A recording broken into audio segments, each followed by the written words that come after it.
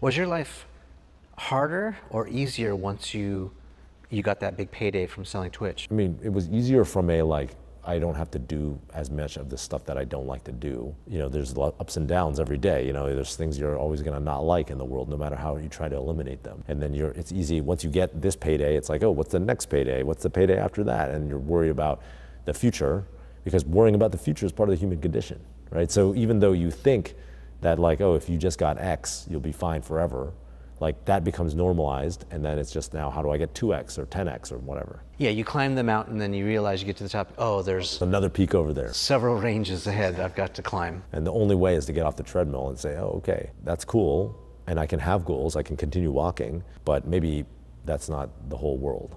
Maybe the whole world is not if I get to that next mountain or the mountain after that. Maybe it's just about this moment right now.